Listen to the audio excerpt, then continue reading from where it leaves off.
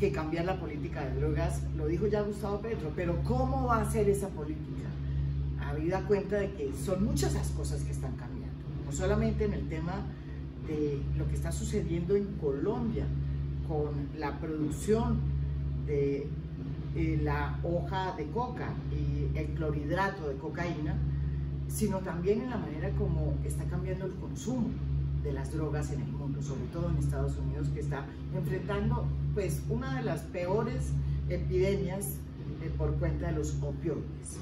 Por eso hoy el tema es qué hay que hacer para cambiar ya la política que nos está sirviendo relacionada con la lucha contra las drogas.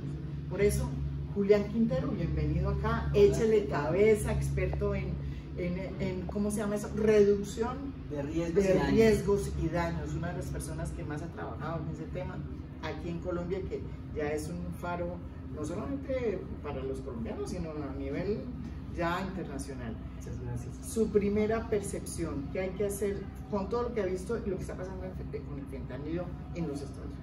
Yo creo que hay, que hay que dejar de echar la culpa a las sustancias y hay que pensar en las decisiones que toman las personas, los gobernantes, las farmacéuticas y los políticos y como son decisiones de nosotros con ellos, tenemos la capacidad de cambiar las políticas de drogas. Hay que ir hacia la regulación de los mercados definitivamente a raíz de, además de la gran situación de, epidemia que está sufriendo en Estados Unidos por cuenta de los opioides. Es el ejemplo máximo de, de, lo, de lo perverso que es la prohibición y el negocio en la mitad de las sustancias.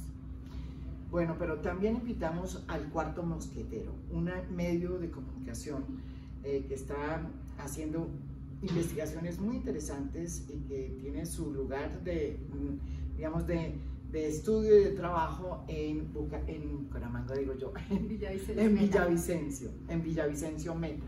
Ellos acaban de hacer una investigación muy interesante sobre lo que está pasando en este momento con los campesinos cultivadores de coca en la zona del Meta, en una zona muy hermosa por lo demás, que es el río Guayabero, que antes era el epicentro del enclave más grande de las FARC, que era el bloque oriental. ¿Qué está pasando ahora que ya no están las FARC? Eh, y ellas han sacado este importantísimo reportaje donde es claro que hay muchísimos campesinos que están muriéndose de hambre porque no hay quien les compre la cosecha. Bienvenida aquí, Shirley Forero. Gracias. Pues sí. Eh... Y perdóname porque le voy a presentarle una a, a Lina María Álvarez. Lina María Álvarez, también de eh, el, el Cuarto Mosquetero. Eh, ¿Por qué hicieron ustedes esta investigación y qué conclusiones eh, les mostró. Pues yo hablar un poco entonces acerca de la investigación y mi compañera va a complementar. Hace poco publicamos nuestra investigación Hambre e incertidumbre en territorios cocaleros que surgió a raíz de una problemática que viene sufriendo el campesinado porque se están quedando sin flujo de efectivo en el territorio. Nos centramos en la región del Guayabero, específicamente en la vereda Nueva Colombia del municipio de Vista Hermosa Meta. Eh, resulta pues que están eh, recurriendo al cambalache a falta de flujo de efectivo, pero eh, esto eh, está ocasionando que ya no se puedan traer productos básicos como comida y implementos de aseo al territorio y se están quedando pues aislados porque tampoco tienen cómo salir, no tienen para pagar un pasaje para ir a buscar sus cosas y tampoco les está llegando de afuera. Bajó también el precio de la hoja de coca. Eh, está en una situación difícil y cuál es su percepción después de haber hecho ese artículo, esa investigación? Bueno, yo creo que es muy importante tener en cuenta que hay varios factores que eh, están relacionados con que en este momento no les estén comprando la pasta base de coca al campesinado de gran parte del país, y en este caso específico eh, del Guayabero, y que es importante tener en cuenta que ellos y ellas han conocido al Estado a través de la represión, de los procesos de erradicación forzada, diferentes operativos, y que en este momento urge que realmente haya una intervención, pero de inversión social que no esté ligada a la estigmatización, sino empezar a buscar soluciones, porque están hablando de una crisis humanitaria. Ellos siempre han vivido el cambalache y siempre han estado inmersos en unos ciclos de pobreza, pero en este momento ya no hay dinero en efectivo que respalde eh, precisamente esa necesidad. Los productos de la canasta familiar, de aseo y demás están eh, pues escasos, ya no hay, además de otros eh, problemas sociales que genera como extensión escolar, como el tema de que no estén accediendo al servicio de salud, entre otras problemáticas,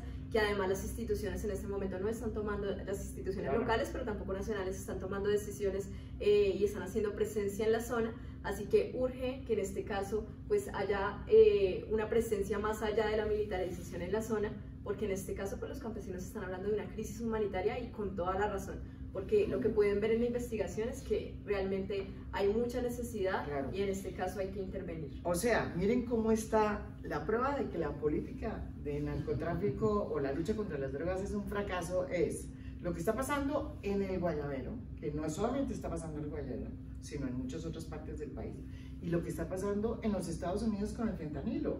O sea, que son dos políticas producto del prohibicionismo, o sea, dos realidades horribles producto del prohibicionismo, ¿no es verdad? Sí, señora, tal cual. no se lo pierdan, si quieren saber del fentanilo, por qué el fentanilo tiene que ver con lo que está pasando en el Guayabero, en Colombia, este a fondo. Está muy bueno.